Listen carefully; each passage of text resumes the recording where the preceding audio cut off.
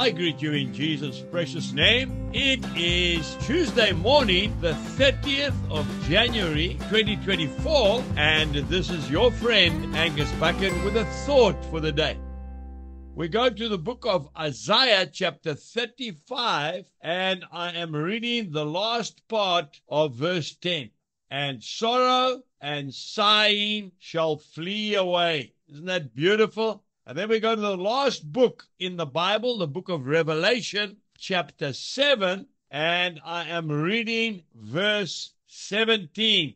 And God will wipe away every tear from their eyes. Oh, what a promise. Are you taking a bit of strain at the moment this morning, my dear friend? Well, I've got good news for you. Just keep on going because home time is sooner and closer than we think. You know, I think of the trips I used to take up to the top of the Drakensberg Mountains, which are about an hour and a half's drive west of Shalom. They were exciting. We packed our rucksacks with all our food, our equipment, and we set off. I want to tell you, often I took groups of young men with me. The trip was hard.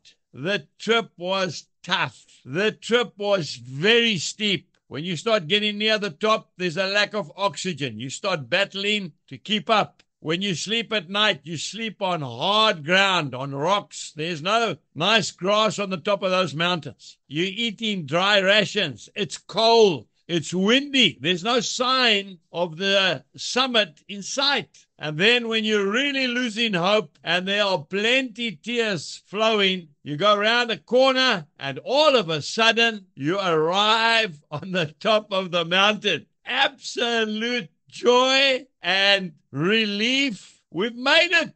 We got there, but I'm talking about the journey to heaven. That's exactly right. The highway which leads to heaven. And when you get to the top of that mountain, who is standing waiting for you? Arms outstretched, it's Jesus himself. He's walked that road. He knows exactly how you're feeling. You're hungry, you're tired, your legs have been cut, going through that rough, rocky trail all the way to the top, and he waits for you and he embraces you. He pulls you into his ample bosom and he hugs you tight. And then he takes a towel, a nice soft towel that's been tied around his waist.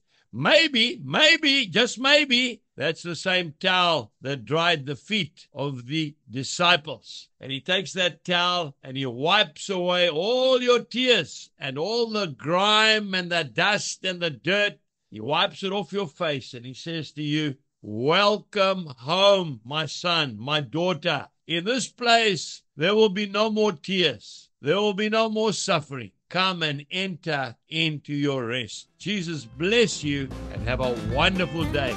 Goodbye.